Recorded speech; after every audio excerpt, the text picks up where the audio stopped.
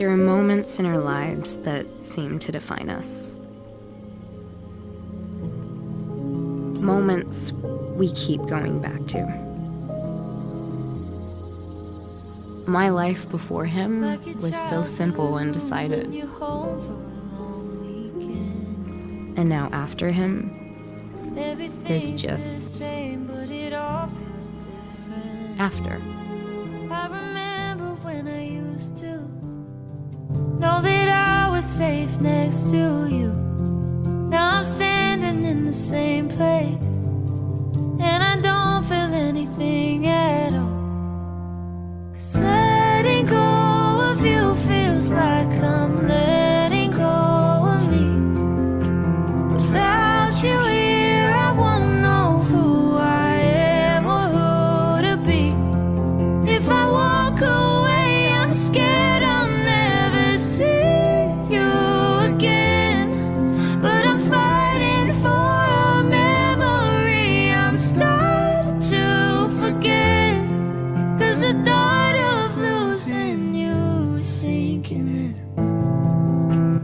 I've read hundreds of novels in my life, most of them claiming that love was the center of the universe, that it could heal any damage inside of us, that it was what we need to survive.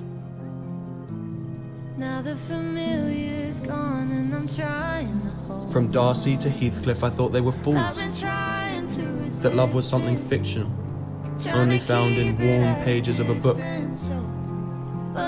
But that has all standing in the changed since I met my Elizabeth Bennet. don't feel anything at all.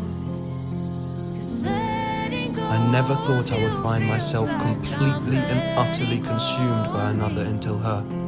Without you here, She took my hand and led me out of the darkness and showed me that whatever our souls are made of, walk away, I'm scared I'll never hers and mine, are the same.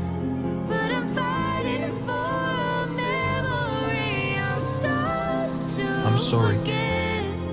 'Cause the thought Please forgive me.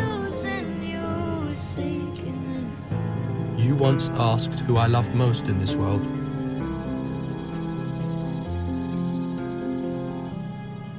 Don't leave me here, don't leave me here, don't leave me. It's you. Don't leave me here, don't